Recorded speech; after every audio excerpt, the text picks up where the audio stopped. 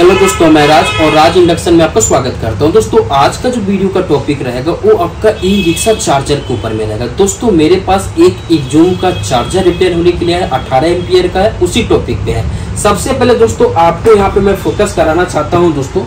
तो सबसे पहले दोस्तों, एकदम आपको न्यू टाइप में चार्जर दिखेगा।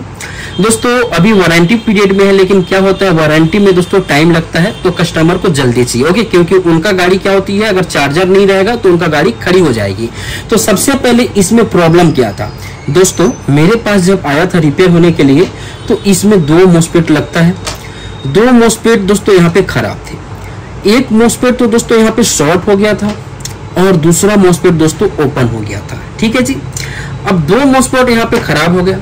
और यहाँ पे दोस्तों देख सकते हैं कि बहुत कोई प्रोटेक्शन के लिए डायोड लगा रहता है मोस्पेट में। दो मोस्पेट के पास में दोस्तों, दो डायोड यहाँ पे देख सकते हैं प्रोटेक्शन डायोड बोलते हैं। तो ये दोनों डायोड में से दोस्तों, एक डायोड आपका क्या हो गया था? शॉर्ट हो गया था और एक डायोड सही था। तो मैंने क्या किया? दोनों डायोड को निकाल दिया। ठीक है जी? दूसरी दोस्तों क्या होता है? जो आपका ड्राइवर और मोस्पेट के गेट के बीच में जोड़ने के लिए यहाँ पे रेजिस्टेंस लगता है। ड्राइवर से जो पल्स चलेगी, इस रेजिस्टेंस के माध्यम से मोस्पीड को ऑन करेगी सैतालीस ओम का। ठीक है जी? यहाँ पे देख सकते हैं डीप में रेजिस्टेंस लगा था। ये रेजिस्टेंस को देख सकते हैं यहाँ पे पूरी बुरी तरीका से जल गया था। ओके और यहाँ पे दोस्तों दो मोस्पेट है। तो एक मोस्पेट का रेजिस्टेंस जल गया था और दूसरा दोस्तों एस पैकेज में लगा था। यहाँ पे देख सकते हैं सैंतालीस ओम का रेजिस्टेंस ए भी रेजिस्टेंस क्या हो गया था दोस्तों? ओपन हो गया था। तो हमने यहाँ पे दोनों रेजिस्टेंस को लगा दिया। उसके बाद में दोस्तों आपको बताऊँ कि दोस्तों ये जो चार्जर आया हुआ है, इस चार्जर में दोस्तों क्या होता है? आपको, आप लोग को यहाँ पे मैं फोकस करना चाहता हूँ। इसमें तो दोस्तों आप यहाँ पे फोकस करेंगे सबसे पहले। ये हमारे चार्जर में पावर सप्लाई अलग से बना हुआ है। अलग से दोस्तों कहने का मतलब आपको यहाँ पे बता रहा हूँ। सबसे पहले दोस्तों यहाँ पे देख सकते हैं कि एक चॉपर है। और इस चॉपर को ऑन ऑफ़ करने के लिए यहाँ पे आपका वाइपर बाइस का यूज़ किया गया है। ठीक है जी?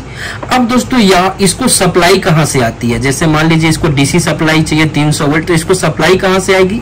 तो दोस्तों, यहाँ पे रेक्टिफायर लगा हुआ है, देख सकते हैं। तो यहाँ से डीसी निगेटिव और पॉजिटिव जैसे दो वायर आपको दिख रहा है ब्लैक और रेड निगेटिव और पॉजिटिव दोस्तों, यहाँ पे आ जाता है। उसके बाद दोस्तों, यहाँ पे पावर सप्लाई की सर्किट बनी हुई है। अब पावर सप्लाई दोस्तों, किस लिए बना है? नॉर्मल दोस्तों, आपने बहुत सारे चार्जर देखे होंगे, बहुत सारे चार्जर बनाए होंगे। तो बहुत सारे चार्जर में क्या होता है कि हमारा जो मेन सेंसिंग का यहाँ पे जैसे मेन सेंसिंग करता है, हम डायरेक्ट क्या करते हैं? बैटरी से सप्लाई दे देते हैं। और यहाँ पे दोस्तों ऑटो कॉपलर का कनेक्टर टू एमीटर शॉर्ट कर देते हैं। तो माइक्रो कंट्रोलर को क्या पता चल जाता है कि मेन आ रहा है? और जैसे माइक्रो कंट्रोलर को पता चलता है मेन आ रहा है, तुरंत दोस्तों यहाँ से एक पल्स भेज देता है।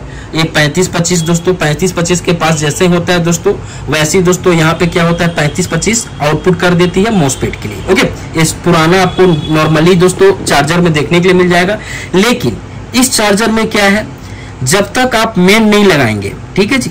जब तक मेन नहीं लगाएँगे, तब तक क्या होगा आपका? तब तक ये 35 पैंतीस, पच्चीस आईसी ऑन नहीं होगा, क्योंकि मेन सप्लाई से ही पावर सप्लाई यहाँ पे ऑन होगा। पावर सप्लाई से दोस्तों, यहाँ पे वोल्टेज बनेंगे। उसके बाद दोस्तों ये 35 25 ऑन होगा। उसके बाद ऑन होने के बाद में तभी आपका 11 नंबर पिन से और 14 नंबर पिन से मोस्पेट के लिए पल्स भेजेगा। ठीक है? अब हम सबसे पहले क्या होता है दोस्तों, आपको बताऊँ। तो ठीक है जी? यहाँ से ग्राउंड पकड़ लेते हैं। और यहाँ पे दोस्तों देखेंगे सबसे पहले तो 35-25 आईसी के हमारा एक 15 नंबर पिन पे आपका सप्लाई नहीं आ रहा है, ठीक है? यहाँ पे 15 नंबर पिन पे सप्लाई नहीं आ रहा, जिसका वीसीसी सप्लाई होता है। तो इसका मतलब क्या है दोस्तों, हमारा 35-25 आईसी अभी ऑफ़ पोजीशन में है। ऑन कब होगा? जब हम मेन देंगे, तब ऑन होगा। वो कैसे? तो सबसे पहले यहाँ पे हम देखेंगे, सबसे पहले मैं इसको सप्लाई देता हूँ, यहाँ से। जैसे मेन सप्लाई दिया दोस्तों तो हमारा यहाँ पे एक दो मेन का इंडिकेट कर दिया। अब जैसे यहाँ पे मेन सप्लाई इसको मिला तो आपको मैं यहाँ पे वोल्टेज चेक, करके दिखा देता हूँ। अब दोस्तों पंद्रह नंबर पिन पे वोल्टेज चेक कर रहा हूँ यहाँ पे तो देख सकते हैं तेरह वोल्ट आ गया। ओके अब दोस्तों जैसे इसके तेरह वोल्ट आया अभी दोस्तों क्या होगा इसके दस नंबर पिन पे आप देखेंगे। तो यहाँ पे ज़ीरो वोल्ट है। अब यहाँ से हमारा रिले ऑन हुआ और पल्स हमारा शुरू हो जाएगा। जैसे ग्यारह नंबर पिन से आप देखेंगे तो हमारा 5.5 यहाँ पे वोल्टेज पल्स है। फिर चौदह नंबर पिन पे देखेंगे, चौदह नंबर का हमारा ट्रैक है, यहाँ पे आ रहा है। ये भी देख सकते हैं 5.5 का यहाँ पे पल्स हमारा शुरू, आना शुरू हो गया। और वहाँ पे दोस्तों एक ड्राइवर लगा हुआ है इसमें। एक ड्राइवर पे यहाँ पे देख सकते हैं हमारा यहाँ पे एरर भी आ गया, यानी तीस यहाँ पे आ गया। ओके, एरर आ गया आईजीबीटी का समझ लीजिए। तो यहाँ पे दोस्तों ड्राइवर से दो पल्स आउट होगा। दोनों मोस्पेट के लिए। अब पल्स को दोस्तों, हम मोस्पेट के पास आ रहा है कि नहीं आ रहा है? दोनों मोस्पेट पे सेम पल्स है या नहीं है? ओके हम इसको डीओसओ से चेक करके आपको बताएँगे। तो सबसे पहले दोस्तों, आपको मैं डीओसओ पे फोकस कराऊँगा मैं। यहाँ पे। तो सबसे पहले मैं डीओसओ को ऑन कर देता हूँ। और डीओसओ को ऑन करने के बाद में दोस्तों, अभी आप देख सकते हैं कि जो हमारा डीओसओ है, अभी यहाँ पे वोल्टेज मैक्सिमम ज़ीरो है। और यहाँ पे दोस्तों फ्रीक्वेंसी दोस्तों ऑटो मोड में है तो इसके नाम से फ्रीक्वेंसी आ रहा है, जा रहा है, और peak to voltage peak to peak voltage zero point four है ओके और हमारा यहाँ पे जो है दोस्तों बीचों बीच है, इसका समझ लो एक खंड हमारा फाइव वोल्ट का है। तो दोस्तों जैसे जैसे पल्स होगा, ये हमारा जैसे जैसे यहाँ पे पल्स बनेगा, वो आपको यहाँ पे चेक करके दिखा देता हूँ। सबसे पहले दोस्तों, हम यहाँ पे क्या करेंगे? ग्राउंड ले लेते हैं, और मोस्पेड का दोस्तों, हम यहाँ से गेट पे चेक करेंगे, ठीक है जी? तो यहाँ पे आप देख सकते हैं कि हमारा डीएसओ में आप फोकस कीजिए। तो सबसे पहले डीएसओ पे आप देखेंगे तो हमारा मैक्सिमम वोल्टेज 10 वोल्ट है, ठीक है? और इसका दोस्तों voltage peak to peak 20 volt है। और फ्रीक्वेंसी दोस्तों अठहत्तर पॉइंट फाइव हर्ट्स की यहाँ पे देख सकते हैं। ड्यूटी साइकिल दोस्तों 50 परसेंट ओके यानी 50 50 परसेंट और 50 परसेंट ड्यूटी साइकिल है एक मोसपेट पे। अब दूसरे भी मोसपेट पे आपकी सेम टू सेम होनी चाहिए। तो यहाँ पे हम चेक करेंगे दूसरी मोसपेट पे। तो पहले मोसपेट पे हमारा जैसे वोल्टेज मैक्सिमम था 10 volt peak to peak voltage 20 volt था। यहाँ पे ड्यूटी साइकिल भी हमारा 50 हर्ट्ज की है। यहाँ पे देख सकते हैं ड्यूटी साइकिल भी हमारा 50 परसेंट है सॉरी 50 परसेंट बता रहा है। और फ्रीक्वेंसी दोस्तों, यहाँ पे हमारा एक छियासठ पॉइंट इतना हर्ट्ज बता रहा है। ठीक है जी? तो हमारा फ्रीक्वेंसी भी दोनों पे सेम होना चाहिए ओके यहाँ पे आप देख सकते हैं फ्रीक्वेंसी भी सेम होना चाहिए और ड्यूटी साइकिल भी हमारा, समझ लीजिए सेम होना चाहिए। हमारा कहने का मतलब क्या दोस्तों? यहाँ पे हमारा समझ लीजिए कि ड्राइवर से पल्स आके हमारा गेट पे आ रहा है। हम इसमें मोस्पेट लगा सकते हैं। अभी आप लोग को बताऊँ दोस्तों, हमारे पास पहले 48 एम टू लगा था हमारे पास जो मोस्पेट है, इसके ऊपर तो नंबर नहीं मिला। लेकिन दोस्तों, ये इसका एम्पियर और वोल्ट दोनों ज़्यादा है। और दोस्तों, हम यहाँ पे मोस्पेट दोनों मोस्पेट इसमें लगाएँगे। मोस्पेट लगाने के बाद में दोस्तों, यहाँ पे देखेंगे कि हमारा क्या होगा चार्जिंग हो रहा है कि नहीं हो रहा है। चार्जिंग में 18 एम्पियर का है तो कितना एम्पियर डीसी ले रहा है, कितना एम्पियर एसी ले रहा है। तो उसी चीज़ को दोस्तों, आपको मैं फिर से वीडियो बना के बताता हूँ ओके अब दोस्तों, आपको फोकस करना है कि मैंने यहाँ पे दोनों मोस्पेट को लगा दिया। मोस्पेट लगाने के बाद दोस्तों, दोनों कैपेसिटर को आपको निकाल के चेक करना है। इसकी जो एमएफडी है चेक करना है, दोनों का सेम होना चाहिए, ठीक है जी? अब सबसे पहले दोस्तों, यहाँ पे क्या करना है? बैटरी हमारे यहाँ बैटरी का एमसीबी है दोस्तों। यहाँ से मैं जैसे बैटरी का एमसीबी को ऑन करूँगा तो हमारे यहाँ पे बैटरी वोल्टेज अभी बावन पॉइंट समझ लो एक है ओके अब हम क्या करेंगे? इसको मेन देंगे। तो सबसे पहले इसको हम सीरीज़ में देते हैं, हमारा ये सीरीज़ है। ऑफ़ पोजीशन में सीरीज़ रहेगा। जैसे इसको मैं लगाऊँगा तो आप यहाँ पे देखेंगे।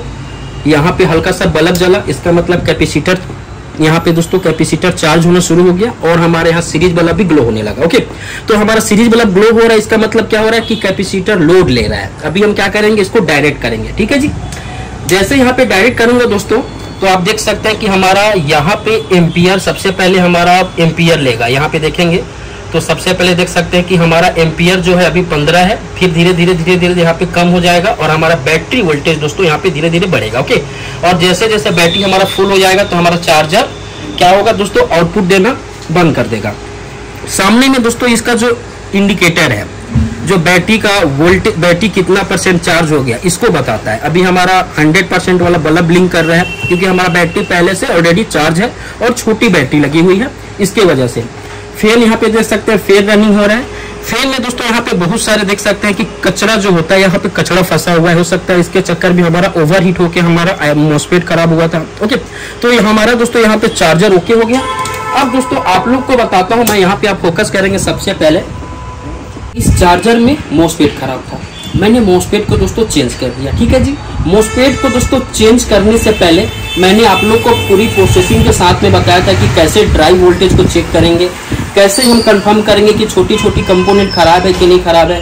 मोस्पेट जब खराब होता है तो क्या होता है? कभी कभी जो मोस्पेट को गेट रेजिस्टेंस बोलते हैं वो रेजिस्टेंस को आपको चेक करना होता है। उसके बाद दोस्तों, धीरे धीरे धीरे धीरे पैंतीस पच्चीस आईसी मोस्पेट लगाने से पहले चौदह नंबर पिन और ग्यारह नंबर पिन पे आपको पल्स आउट हो रहा है कि नहीं हो रहा है, वो मल्टीमीटर से भी आप चेक कर सकते हैं। वोल्टेज वहाँ पे आपको जैसे 5.5 मिला, वैसे आप कंफर्म कर सकते हैं। बाकी दोस्तों, अगर आपको वीडियो अच्छा लगा होगा तो वीडियो को लाइक कीजिएगा और आपको जानकारी के लिए बताया तो दोस्तों, मान लीजिए अगर आप बिलासपुर, छत्तीसगढ़ के आसपास में है चार्जर रिपेयरिंग करवाना चाहते हैं तो आप दोस्तों, मेरे शॉप रूप मनी कॉम्प्लेक्स हट्री चौक में मेरा शॉप है। ए सिक्स वहाँ पे आके आप चार्जर रिपेयरिंग करवा सकते हैं कंट्रोल रिपेयरिंग करवा सकते हैं। इन्वर्टर इसी का किसी भी इन्वर्टर इंडक्शन सब तो दोस्तों, सब सब यहाँ पे रिपेयरिंग हमारे पास हो जाता है ओके बाकी दोस्तों, वीडियो देखने के लिए दिल से धन्यवाद। मैं राज।